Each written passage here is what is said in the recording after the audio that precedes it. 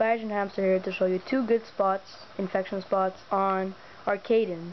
First one is over here, if you press start, it's like in the blue spot towards the bottom. Um, what you want to do is get on this plant or the other side, doesn't really matter. I'll go on this one. And you jump on this. Watch out here again on the side. You want to do is sprint and jump on this. Jump on this. Not very hard, it's an easy one. Then you want to jump on that.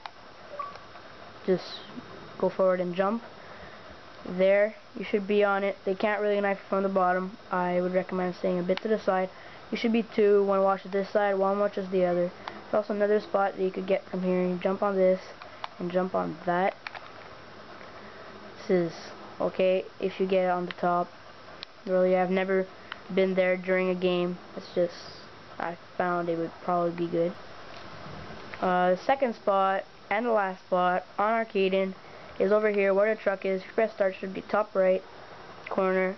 What you want to do is like break this truck, but right now I won't because you know I have no ammo.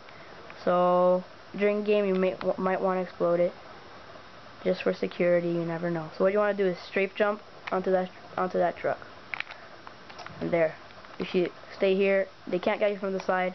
Neither. They can't get you there. They can't get on back in the back of you, so they can't really get you. All they can do is get here. It's always good to say two over here, so when one's reloading, they can still cover. Watch out. Don't commit suicide with your Reaper. That would just be silly. Thanks for watching. Hope you use these spots, and